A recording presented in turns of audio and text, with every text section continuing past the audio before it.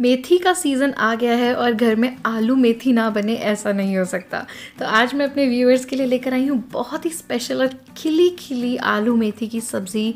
Please video को पूरा ज़रूर देखिएगा शेयर ज़रूर कीजिएगा। So hello beautiful people welcome to our channel Apoorva and Abhya please subscribe and click on the bell icon to get all our notifications तो भाई, सबसे पहले यहाँ पर मैंने आलू लिए हैं, जिनको मैंने पील करके इस तरह से टुकड़ों में कट कर लिया है।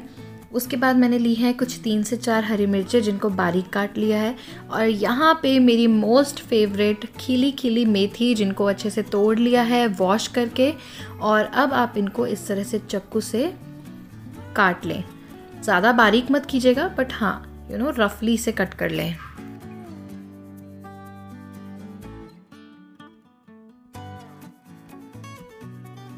अब इसके बाद एक कढ़ाई या फिर पैन लेंगे और इस तरह से स्प्रेड करते हुए ऑयल ऐड कर लेंगे। तो यहाँ पर मैंने टू टेबल स्पून ऑयल लिया है वन टीस्पून जीरा डालकर सॉटे कर लेंगे। उसके बाद आलू को ऐड कर लेंगे।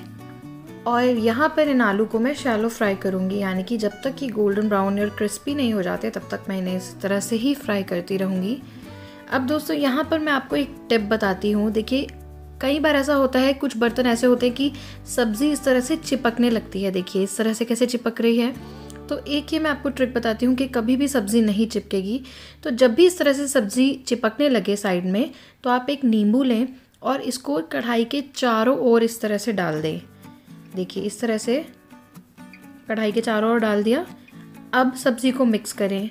तो अब आप देखना, ना तो बिल्कुल चिपकेगी और आप देख रहे हो कितना स्मूथ हो गया अब इसे स्टर करना। पहले बहुत मुश्किल से दबा कर करना पड़ रहा था, अब कितना स्मूथ हो गया है।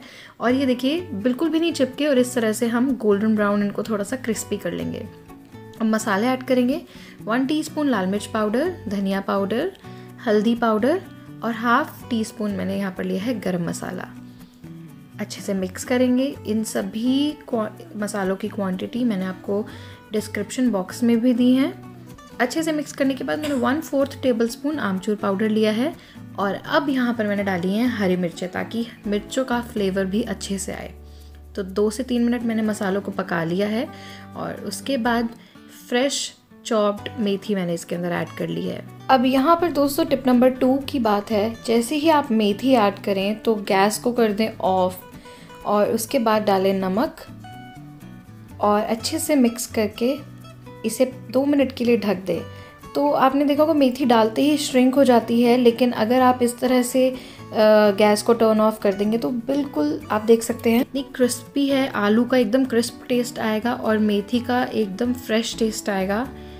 तो you can feel authentic taste of aloo methi.